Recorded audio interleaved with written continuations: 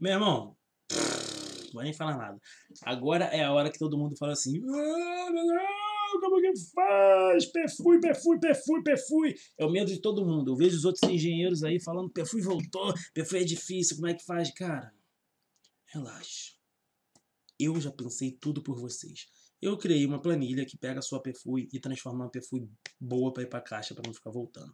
Então, o que é perfui? Primeiramente, você pode ser um aluno que não sabe o que é uma perfui. Se você sabe o que é uma perfui, beleza. Eu, eu não sei o que é uma perfui, tá ligado? Eu sei que meu irmão é planilha. Eu tô saudando a mandioca. Nós estamos comungando a mandioca o milho. Eu não sei o nome, brother. Eu vou... Calma aí, calma aí. Calma aí.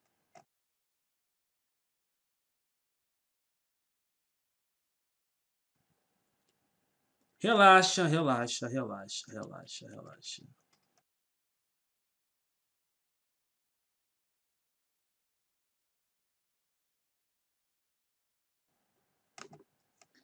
Achei aí, ó. Tô te falando. Proposta de financiamento de unidade isolada. PFUI. Tô te falando que eu sei. Falou que eu não sabia? Pesquisei, meu irmão. Fui no Google.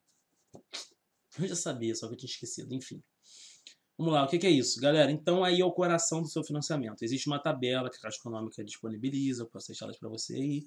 Uma tabela onde vai estar todas as informações do financiamento, tanto terreno, como cliente, como quem vai construir, como ah, RTs, como todos os custos que você vai gastar, serviços preliminares, supraestrutura, infraestrutura, esquadrias, é... gesso, pintura, vai estar tudo ali. No final ainda tem um cronograma. Você botar quanto, quando que você vai fazer cada etapa. Eu vou mostrar para vocês aqui a cara de uma perfui. Não, não, volta, volta, volta, volta, volta, volta. Galera, essa é a cara de uma perfui. Então aqui, ó. Ah, felele. Aqui, ó. Proposta, nome do cliente, CPF, papapá, quem é o responsável técnico, onde o loteamento, quadra, condomínio, se é casa, apartamento, é, as coordenadas geográficas, papapá, BBB, aprovação, características, anotações técnicas dos projetos, estão todas aqui, ó atendido, quem foi o responsável, CREA, PA. Aí vem para depois os valores e os custos, serviços preliminares, quanto você vai gastar em cada coisa, demolições, limpeza de terreno, os valores que você vai usar, as quantidades, as descrições, supraestrutura, paredes e painéis, esquadrias, vidros e plásticos e coberturas, impermeabilizações e forros e revestimentos e pintura, tá tudo aqui. E no final está. Hum, no final está o cronograma físico-financeiro, onde você bota aqui ó, dentro desses serviços. Desse serviço você bota a quantidade você vai botar no primeiro mês, no segundo mês, no terceiro mês, no quarto mês. Você cria assim o, o cronograma físico-financeiro. Porém, a PFU é ridículo. Só que o pessoal acha que é difícil de, de preencher. Por quê? Existe um limite que a Caixa regula para cada um desses serviços. E se você altera qualquer um desses limites aqui, ó, se eu boto aqui para mil, sei lá, e eu mudo esse limite aqui, o que acontece? Ele desregula toda a minha tabela.